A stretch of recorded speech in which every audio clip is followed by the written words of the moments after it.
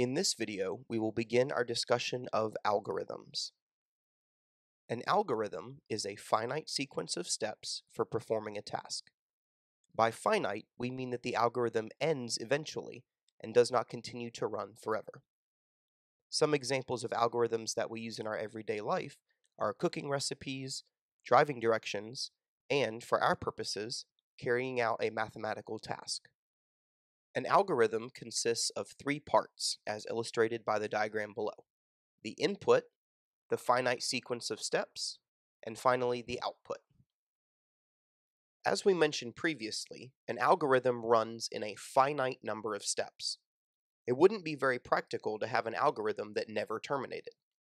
In order to control when an algorithm stops, and what the outputs of that algorithm are, we use return statements.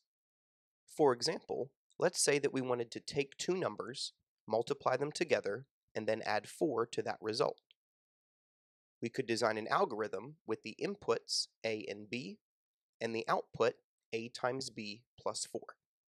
Our algorithm then would consist of the statement return a times b plus 4. Here's an example to try on your own.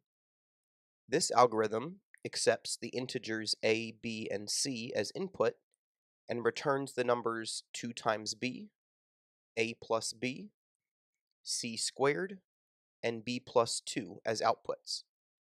Use the following values for a, b, and c and see if you come up with the same answers that we did. Here are our answers for this algorithm.